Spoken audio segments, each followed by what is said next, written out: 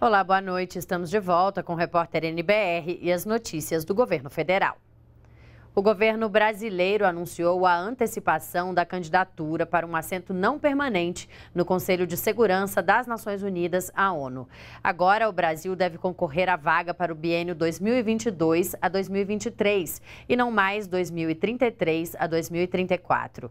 A decisão brasileira é resultado de um acordo alcançado com o governo de Honduras, que cedeu a vez. O acordo garante que, caso o Brasil seja eleito, antecipe em 11 anos o retorno ao órgão.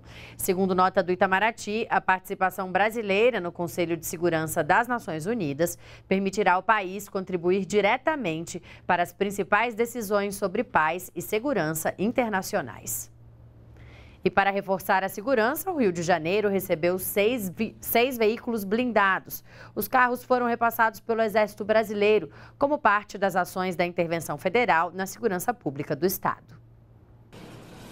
São três Urutus, veículos anfíbios fabricados no Brasil, usados pelo Exército durante a missão de paz no Haiti, que foram adaptados para o Batalhão de Operações Especiais da Polícia Militar do Rio de Janeiro.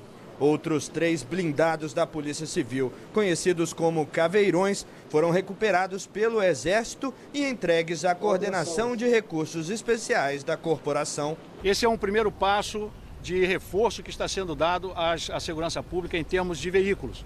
Outros passos serão dados, outros reforços virão, é, viaturas ainda estão sendo adquiridas também para serem entregues e em breve a frota da, da, das polícias militar e civil poderá ser renovada e repotencializada e, e reforçada para que possam melhor atuar nas suas, nas suas, é, nos seus trabalhos de, de, de, de segurança pública. A entrega dos blindados faz parte das ações da intervenção federal na segurança pública do Rio de Janeiro. O Exército também vai ceder motoristas e colocar à disposição equipes especializadas e toda a estrutura para manutenção dos veículos. Também nesta quarta-feira foi publicada no Diário Oficial da União medida provisória que autoriza o repasse de 1 bilhão e 200 milhões de reais para as ações da intervenção federal na segurança pública do Rio. Para muitos cariocas, a medida era necessária. É bastante bem-vinda, né? Eu espero que funcione, né? E funcione de uma forma permanente. Tudo é um reforço né, na área da segurança que está muito precário. Então, esse dinheiro e todo esse equipamento, acho que vai ser em prol, sim, dessa intervenção. São mais de 40 dias desde o decreto e o Gabinete de Intervenção vem coordenando uma série de ações de combate à criminalidade e patrulhamento especializado com o uso das Forças Armadas, Polícia Civil e Militar. Também tem feito inspeções em unidades de segurança do Estado para fazer uma avaliação e aumentar a capacidade operacional, além de ações sociais em comunidades do Rio. De uma maneira geral, as operações têm obtido seu sucesso na medida em que tem atingido a, a, a, a vamos dizer, a situação de estabilidade dos, do, da, da, criminalidade, tem incomodado a criminalidade. O trabalho de inteligência tem sido realizado e, principalmente, tem sido mostrado que as forças federais e as forças de segurança podem chegar a qualquer ponto da nossa cidade, podem atuar, as forças policiais podem cumprir mandato em qualquer território, sem que haja um terreno dominado por facções de qualquer tipo. Índice de aprovação de mais de 90% nos aeroportos do país. 780 quilômetros de rodovias federais pavimentadas ou duplicadas. E 23 contratos para construção e exploração de terminais de portos brasileiros. Esse é o balanço das ações dos últimos dois anos do Ministério dos Transportes. Com índices de aprovação acima dos 90%, os aeroportos brasileiros ganharam um novo fôlego nos últimos dois anos. Quatro aeroportos foram concedidos à iniciativa privada. Outros 13 devem ser leiloados ainda este ano. A renegociação de contratos de concessão já existentes resultou no ingresso de 6 bilhões e 800 milhões de reais em outorga. O governo federal também firmou 34 acordos com estados e municípios, que levarão a investimentos de 2 bilhões de reais nos terminais, sendo que 654 milhões de reais virão dos cofres federais. E os primeiros resultados já começaram a aparecer. Em 2017, 112 milhões de passageiros usaram os aeroportos do país, um crescimento de mais de 2% em relação a 2016. Nós recebemos um, um setor em queda é, muito acentuada por conta da crise econômica é, e 18, foram 18 meses de quedas consecutivas.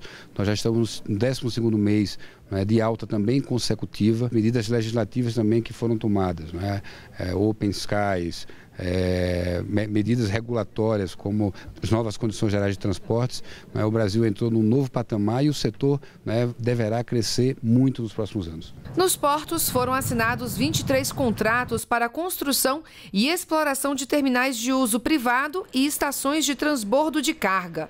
Outros 51 pedidos estão em análise. 780 quilômetros de rodovias federais foram pavimentadas ou duplicadas. O Ministério dos Transportes também garantiu contratos de manutenção para 91% da malha rodoviária nacional.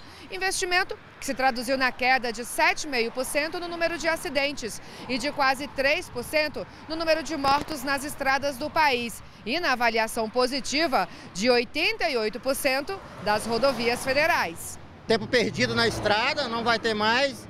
E sem dizer da parte de segurança, né? Que você não vai ficar parado aqui mais. A gente vivia aqui num buraco, né? Não tinha, não tinha nada. E agora com essa pista vai melhorar um pouco porque é mais rápido para a gente sair, resolver um assunto em outra cidade. Então ficou melhor.